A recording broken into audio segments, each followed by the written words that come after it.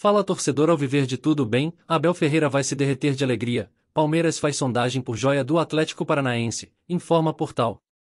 A janela de transferências do meio do ano nem abriu, mas já segue dando o que falar nos bastidores dos times brasileiros.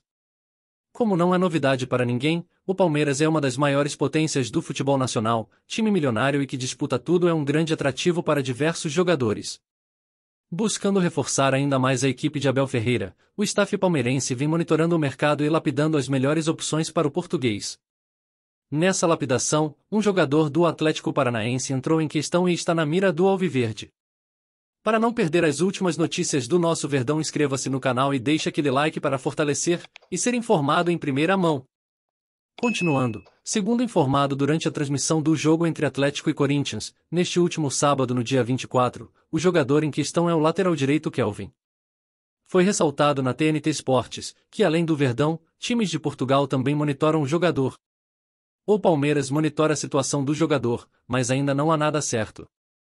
O jogador tem 22 anos, foi um dos destaques da vitória por 1 a 0 contra o Corinthians, de acordo com o SofaScore Brasil, com uma assistência, seis passes decisivos, zero faltas cometidas, ganhou todos os duelos, três desarmes e uma grande chance criada. E aí, torcedor palmeirense, na sua opinião, Kelvin seria um bom reforço? Sim ou não?